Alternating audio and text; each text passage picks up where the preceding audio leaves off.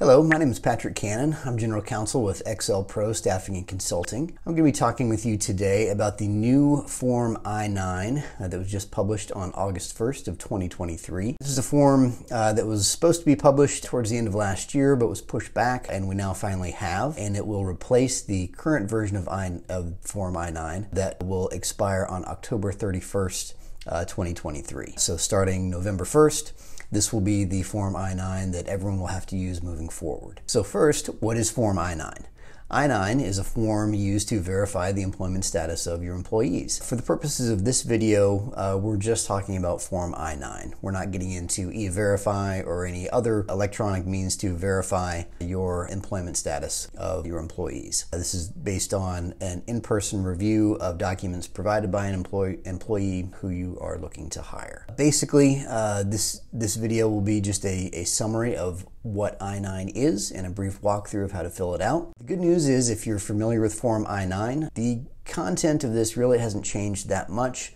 Uh, one section was expanded, uh, and there's also one additional section that's been added, but for the most part, uh, it's still seeking the same information. So if you have any familiarity with Form I-9, this won't be anything all that new.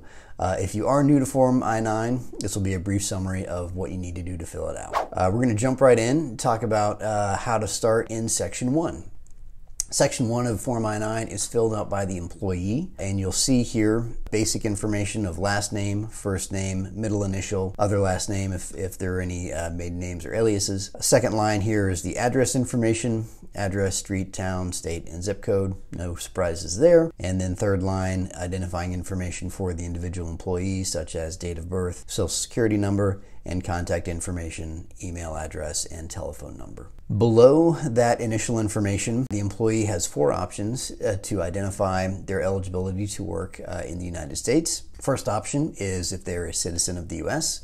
Second option is a non citizen national of the U.S. Third option, a lawful permanent resident. And fourth option is a non citizen. Now, if the employee selects option four, uh, they will have to provide some additional information here uh, at the bottom, such as listing their USCIS A number, or uh, Form I-94 admission number, or uh, listing a foreign passport in the country of origin. And then once uh, once that information has been provided, the employee signs and dates. Now, a couple things to keep in mind on Section 1. Most importantly, this is a section that is completed by the employee. Uh, it's not completed by the employer. The employee does have to attest to the accuracy of the information provided. And one important rule for the employer is that there is no verification of the information uh, submitted by the employee in this this section.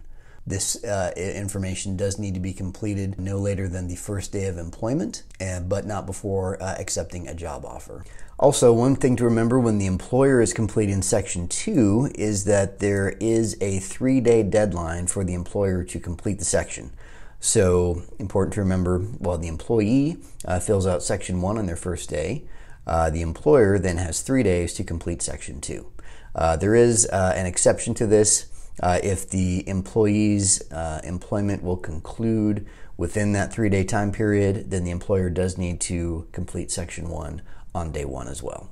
Again, straightforward information listed uh, that was in the old version of Form I-9. Moving on to Section 2, uh, this is the Employer Review and Verification section. This is where the employer reviews additional information provided by the employee to verify their eligibility to work in the U.S. There are several options we're going to get to here in a second for information the employee can provide. Another important rule for the um, employer to follow here is the employer cannot dictate what information the employee provides. It is up to the employee and is uh, compiled again from a list we're going to talk about here in a second. But the employer, again, cannot say, I have to see this information in order for us to complete this form. There are three columns here you'll see on new form I-9 and same as, as the original form, list A, list B, and list C. List A documents are documents that identify both, or that establish both the employee's identity uh, and eligibility to work. List B uh, are for documents that identify the employee only and list C establishes the eligibility to work. So you can either do it all in one document on list A or uh, have a combination of a list B and list C document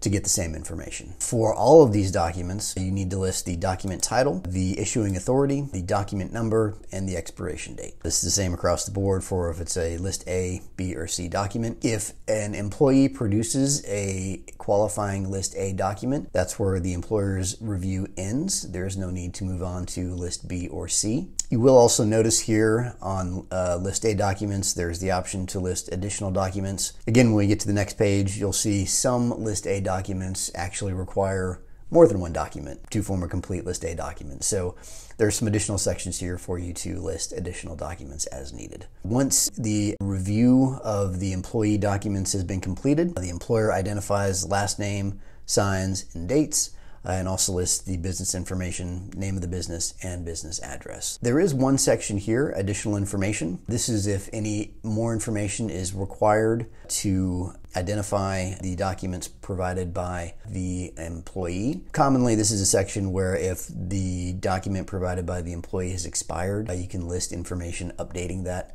uh, document here. You'll also see here uh, this check here if you have used an alternate procedure uh, authorized by Department of Homeland Security to examine documents. It's, it gets into e-verify if you're reviewing documents remotely. Again, for the purposes of this video, um, we're talking about reviewing documents in person. If you do have questions about filling out Form I-9, there, there is a link that we'll get to again here in a second that shows additional instructions you can uh, review if you have questions. So moving on from page one, uh, moving on to now pages two and three. Page two here lists uh, all the acceptable documents under list A, B, and C. Most common example, U.S. Uh, passport and passport card. If you have one of those, list A, that identifies both your, or establishes both your identity and right to work. If you do not have a list A document, a, another common list B document to establish identity uh, is a driver's license or a ID card, usually issued by a state, and then list C, social security card that establishes your citizenship and your right to work in the US. You can see here there are a number of different documents that can be used. Again, these are the documents that the employee has the right to choose from, or the employer uh, cannot dictate which uh, documents the employee chooses to list uh, from, from this group. In List A, Subpart 5, you can see if you're using a foreign passport, this is another example of where you might have some more, more than one document to list in that List A section on the first page. It's important to note too that in addition to the documents listed in lists A, B, and C, you can provide a receipt. A lot of times this comes up uh, if you are have lost or replaced or renewing a document that is found in list A, B, or C, and you'll see down here acceptable receipts that can be used in lieu of a document for a temporary period.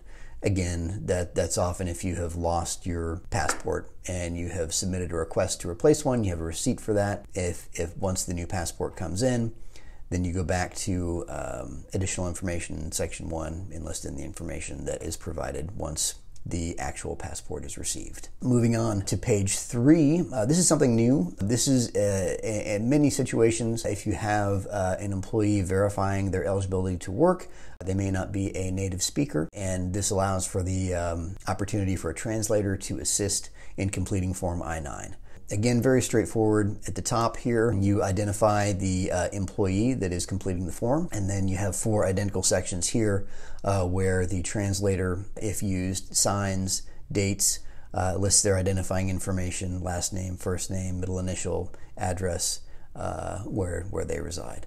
So if a translator is used for filling out Form I-9, this is where they would complete their information uh, just to verify that the information that they're providing on behalf of the employee is accurate. Last page on New Form I-9, this is a change from the current version. Uh, this is Supplement B uh, which replaces uh, Section 3. And this addresses if you need to re-verify or rehire uh, an employee. Again, similar to the translation section, last name, first name, middle initial of the employee who's filling out the form. Then, if you have a rehire situation, you list the date of rehire here. If you're needing to re-verify due to a name change, you list the employee's new name here. And then we get down to the documents reviewed uh, at the rehire or re-verification section. This is the same information uh, required to be produced in section two on the first page. You list document title, document number, expiration date, and then the information uh, from the employer reviewing the document. Again, just kind of a, a summary of the information provided on page one And you have three sections here if you need to have a multiple uh, rehire or re-verification of the employee. Again, the information in this new uh, new Form I-9 is, is similar to what was in the original Form I-9. This was published August 1st of this year and uh, will be the only form of I-9 that can be used starting November 1st of 2023. If you have any questions about how to complete a Form I-9, again, there are links uh, here within the form that provide you assistance. If you look here on page four, there's a link here, Handbook for Employers, uh, Guidance for Completing the Form. This is a 140 page handbook that will answer just about any question you have. But if that still doesn't provide you the information you need, one important thing to note here is that this video is for informational purposes only. This is not providing legal advice. If you have a question about a specific employee as it relates to Form I 9, I would encourage you to contact an employment attorney to have that question answered. Thank you again for watching our video. Hope this was an informative summary of Form I-9. Let us know in the comment section below if you have any questions about Form I-9 or uh, if there are any topics you'd like to see uh, the XL Pro team cover in future videos. Our contact information can be found in the description box below. Also, don't forget to like and subscribe and follow XL Pro on all social media platforms. You can keep up with any news we have uh, going on here at XL Pro, in addition uh, to, most importantly, all of our job postings. Thank you so much for your time.